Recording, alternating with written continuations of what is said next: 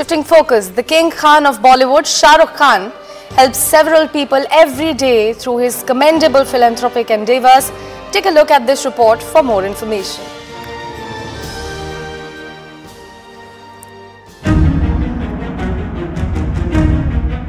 Shah Rukh Khan's persona goes far beyond his iconic reel image. His real avatar is what has left an indelible mark in the hearts and souls of thousands who he helps every day.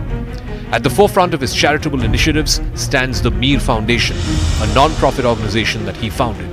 This foundation is dedicated to empowering women and aiding acid attack survivors, providing them with medical support, rehabilitation and vocational training.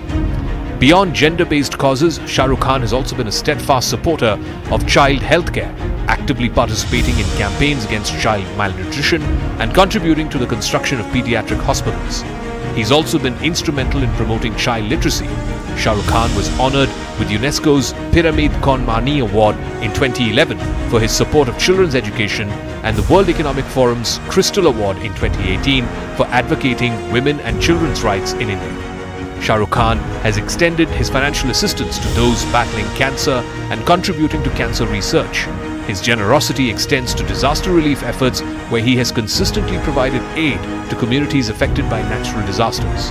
During the COVID-19 pandemic, Shah Rukh Khan demonstrated leadership by contributing significantly to various relief funds, facilitating the supply of medical equipment and using his platform to raise awareness. Through these diverse philanthropic initiatives, Shah Rukh Khan exemplifies a commitment to making a tangible difference in the lives of those in need. With his effortless charm and three mega blockbusters, the King of Bollywood is coming to Indian of the Year 2023.